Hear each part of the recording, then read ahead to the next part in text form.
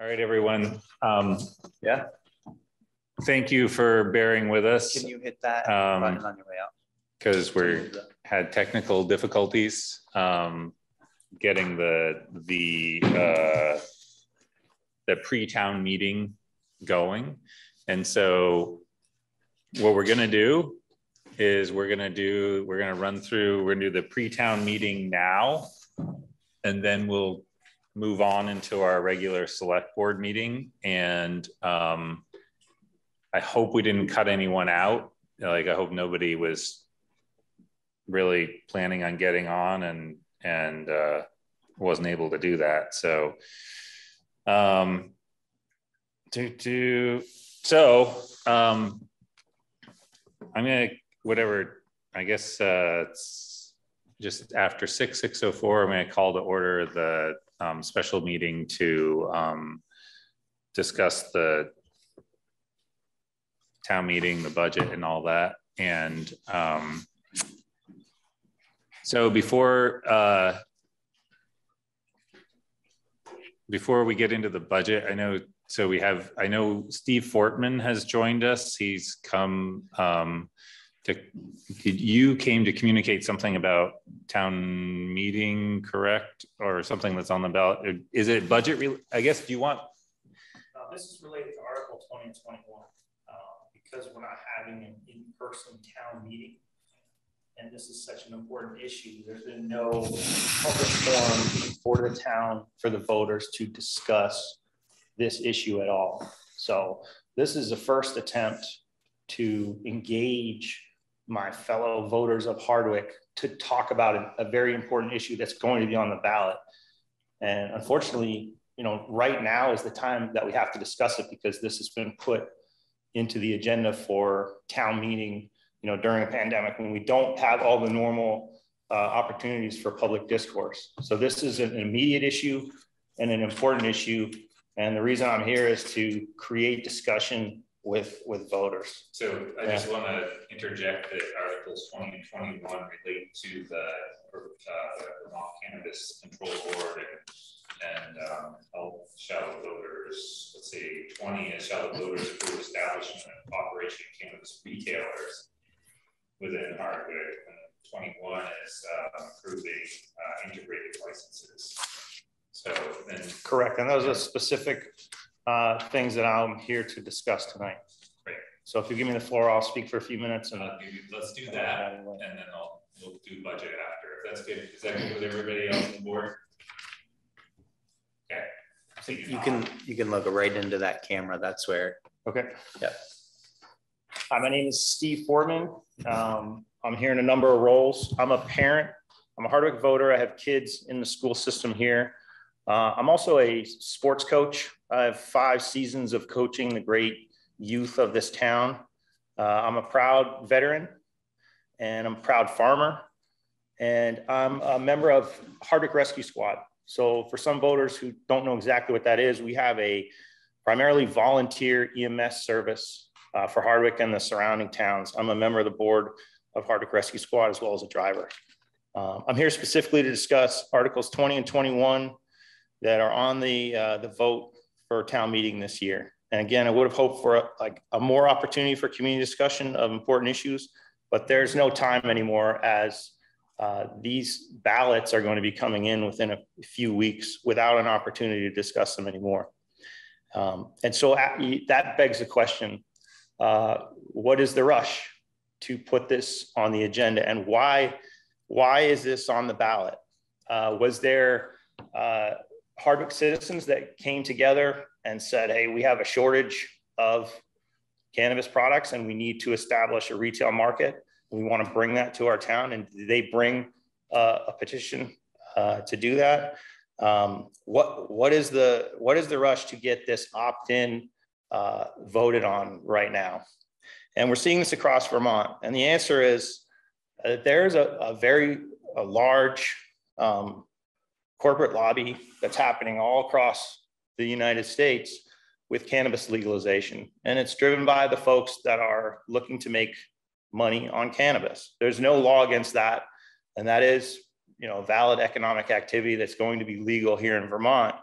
but it, it does beg, beg the question, how did this sail so quickly through our state legislatures, even with, without the support of our governor, who did not sign the bill? How has it already worked its way onto a local ballot without town discussion? And the answer is that there's a very strong lobbying effort behind it. So it's very important for Hardwick citizens to understand that they have to uh, they have to decide this issue. It's been pressed to them. And the reason it's been pressed so quickly is because there's folks that are ready to make money. So here we are. Um, so what I've known about my Hardwick citizens is they're always a little bit wary of corporate money and outside money, and they should trust their instincts well on this issue. For me, I have no financial interest in this issue whatsoever. I have no plans to become a retail cannabis person. I have um, really had no interest on the issue until about a year ago. As an EMS member, um, I noticed in some of the data that was being put out on legalization that there tends to be an increase in hospitalizations and use of EMS in communities that uh, that have a higher density of retail um, cannabis available. Okay, and so that got me interested in the issue because as a volunteer EMS member, I know that uh, you know on a typical day that I'm on duty, um, I am ready to drop whatever I'm doing on my farm and go to help a uh, a fellow citizen member that's in trouble. But I also like those calls to be as infrequent as possible because my fellow volunteers are unpaid and we're taking time out of uh, whatever else we have going on in our lives to provide the EMS service to the town. So, uh, so then I began to study the data. What did I find? There's a lot, a lot of data, a lot of studies. And these studies can be viewed in different ways. And what the lobby uh, that's interested in uh, making money from retail cannabis is going to present you with is an understated impact to the community and an overstated benefit to the community in the form of tax dollars. And again, I would urge Hardwick voters to trust your instincts and remember uh, to seek the best information, trust your instincts, and really look big picture uh, before you uh, buy into some of the information that may be presented to you.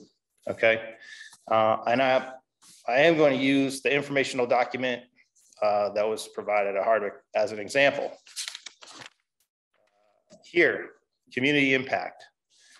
We've got five or six bullets, statements that really do not tell the story of what the potential impacts are uh, of opening uh, retail uh, establishments in our community. Again, I'm not here to sell you on um, reefer madness and this is the end of the world if we have some shops in our town.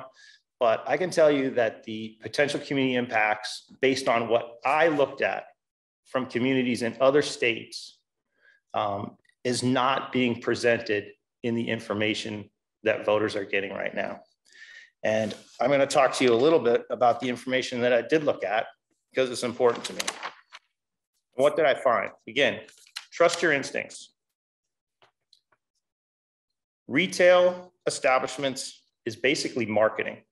So if I was to open establishments in this community that sold model airplanes, you might find that there's an increased use of model remote control airplanes in your community. It's just a basic fact, good old American marketing. Brick and mortar stores is a good way to get your product to the people. And again, this is common sense. Greater retail availability leads to greater use leads to heavier use, more frequent use of cannabis, and that is shown in studies. So what is different about what would be available from these stores and what is available now? This is not a discussion about legalization. I support legalization. Legalization is already here. My fellow Hardwick voters can grow marijuana, smoke marijuana, and live free, and I support their right to do that. However, does our community want to bring high potency THC products into our community that can be packaged, for example, as edibles that look like candy. Uh, now, I will give you some personal insights as a Hardwick Rescue Squad member. Have I ever been impacted by edibles in the community? The answer is yes. I have gotten up in the middle of the night, gone to get the ambulance, and taken it out to residences to respond to folks who have uh, taken too much THC because they purchased high potency THC products, tried to bake them into something or um, eat them in some way. That has happened. It has impacted me personally. What happens when that call is in standard? Well, the ambulance goes out there. There's typically not much we can do. These are not that dangerous calls. They're typically not fatal, but the ambulance is out of service for these calls. Uh, I mentioned uh, THC products that are packaged as candy. If you have not seen the labeling and what these actually look like, I urge you to go online and see what they are. What you, what you will see is basically looks like a candy package. Uh, gummy bears, Kit Kat bar. Have we seen this in our community? The answer is yes. Has a person in our community accidentally ingested THC, a person who had no intention, no intention of taking the drug, ingested accidentally THC because it was packaged as candy? The answer is yes. The answer is yes. It happened and it happened in our community. So, increased retail availability of high potency THC products in our community. Is it a good idea? I think it needs further discussion. I think it needs further discussion. The New England Poison Control Center has the data. Have we increased accidental pediatric ingestions of THC as legalization has occurred in other New England states? The answer is yes. Are these facts presented as community impacts to the community? No, they are not. The reason is there's a very strong lobby that's very interested in understating community impacts and overstating community benefits. I'm going to leave you with uh, a comparison here and talk about the word hypocrisy. I have a farm and I make a wonderful product, goat's milk. I am not allowed to sell my raw goat's milk to another Vermonter in a brick or mortar store because the state feels that that is too dangerous. When we see hypocrisy at this level, it can only come as a result of corporate greed and outside money. I encourage all Hardwick voters to vote no on 20 and 21 to find out their facts from good sources of information, to engage their fellow voters on this important issue and urge them to vote no.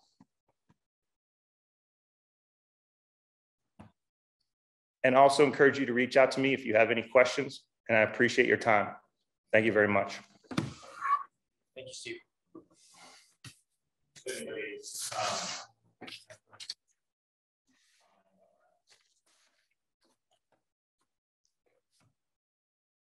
Great. Thanks. All right, thank you. Thanks so much. It's, um, it's a year Did you- without, Did you sign it? it's a year without a real town meeting, so, it's, you know, Steve's right that we, we're missing the discussion aspect, so. Um, all right, so I'm gonna just do a quick overview of our, our budget. Um, I don't know if we just pull up the budget so I know what I'm speaking about. Um, all right, so the budget that the select board is proposing and is asking the voters to um, approve is uh, has some changes that uh, voters may note um, uh, compared to previous years. So uh, revenues are down quite a bit, and that is uh, largely due to the loss of the Greensboro police contract, so that contract provided a fair amount of revenue that offset policing services. Um, that is our largest revenue down tick. Um, we're also um, changing, we're having less money transferred from water and sewer funds uh, because uh, we judged that the, the transfers have been really too large in the past for, for the amount of services covered. Um, overall, and move on to expenses. And overall, our expenses are going up. I think it's one point one percent. It's just over one percent on expenses. Um, one point one one. Uh, so we're trying to keep our expenses in check. Um, and uh, that our prop, where our projections, projected impact um, on property tax is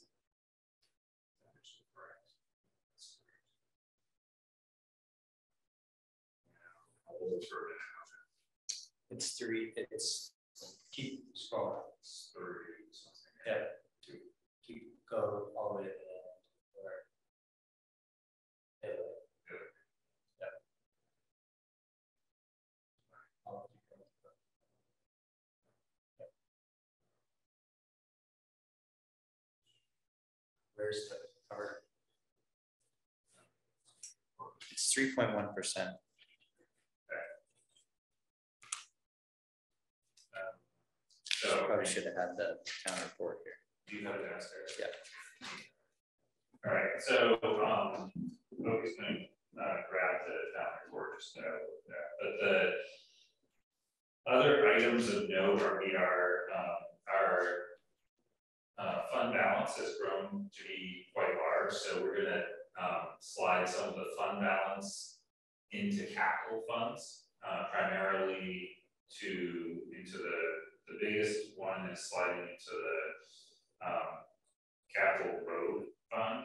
Uh, and where the main driver there is um, pave, the need to pave Center Road and the rate we're saving that is going to be way too far out. So this will help us by taking some of the money from the fund balance and moving to capital roads that will definitely help offset the um, road road uh, maintenance amount. Right? Like, so, Three point one. Sorry, no. That what you're looking for?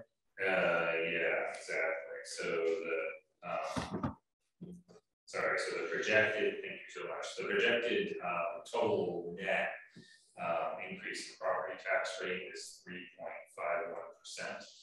Uh, Oh. Casey share.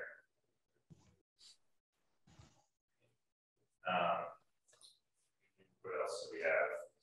Uh, in the highway department, we, you might notice that we had an um, increase, and that's because we in the gravel line, because we uh, are has stopped doing the back roads capital and instead just have it in our in our uh, regular budget. So the gravel has gone up. Um, in our office, uh, the which is the town manager's office, where had an increase primarily driven by health insurance plan changes and um, some increases in salary. Uh, we in payroll, uh, we have a de- we've decreased the community development coordinator position to to correspond with the actual that it's that that position has been using. Um, in the police department, um, we have decreased the budget, the total budget amount by 155,000 to try to um, offset the loss of the revenue from the Greensboro contract. Um, and line, line items I talked about. Uh, um, Oh, and also line items, um, rescue has asked for an increase, which they need to continue providing service in Hardwick, and so, uh, the select board is, is supportive of that. That All right, sorry, that's a little dry, but that's my run through. Anybody, select board?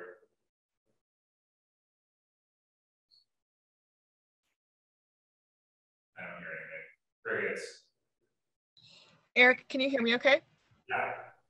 Um, I'm wondering if, if you wouldn't mind, I know we've explained this in previous select board meetings, but do you mind just kind of going over the, um, the difference in the police department budget? I know you touched on not having that revenue, but can we just go back and just explain it a little bit more? So looking at the expenses side, you mean? Yeah, I know we've talked about it at other select board meetings, but Yeah. Just run through on the, um, police. All right. So, oh, this one's color. Police. In case he's got it up, right? Yeah. Yes. So, um, we're basically forecasting a, a decrease in salaries. So we're gonna have a decrease, um, I think we're projecting to have the, for this year that the budget's for, we we're gonna have one less officer, I think, right? This next year. Yeah. Cause that we've got a decrease in our payroll. I mean, not less than we've had, but less than we've budgeted for. Correct. Yeah. Um, and we've, uh, to do, to do. What else? So in here, I mean, there are a bunch, the, so overtime is down. Um, there's a increase in part-time officers because there's gonna be a little more reliance on, we're predicting more reliance on part-time officers, at least in the short term. Uh, and then associated costs, salary costs, the social security, workers' comp, um, uh, insurances are predicted to decrease or forecast in our budget to decrease. Um, and there's some other miscellaneous stuff that's decreasing. Um, but primarily, we're looking at uh,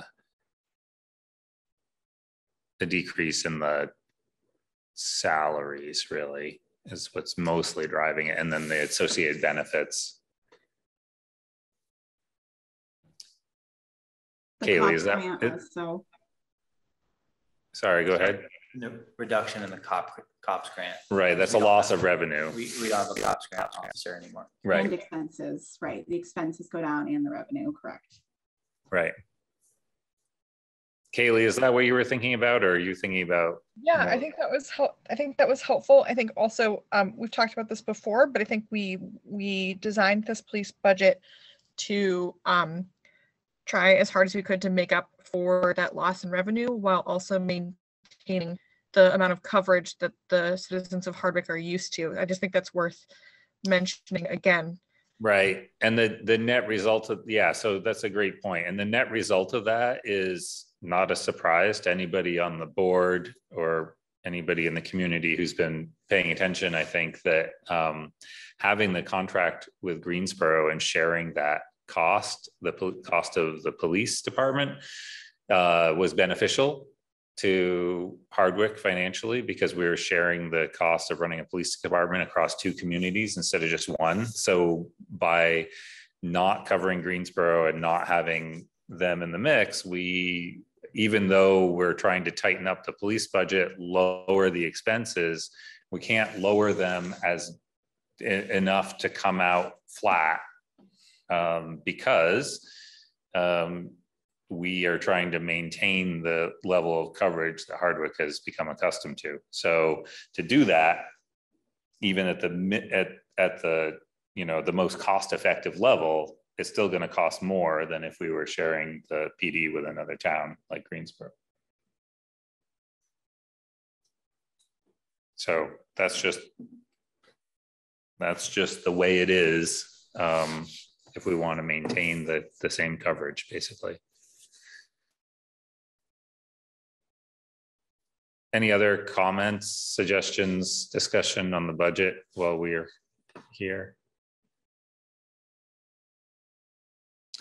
I guess I would also just encourage folks, if people watch this um, later and you have questions, feel free to reach out to the town manager, to select board members, um, because we won't have the opportunity to discuss at town meeting. We'll just be voting Australian ballot. So if you do look this over and you have questions, please reach out.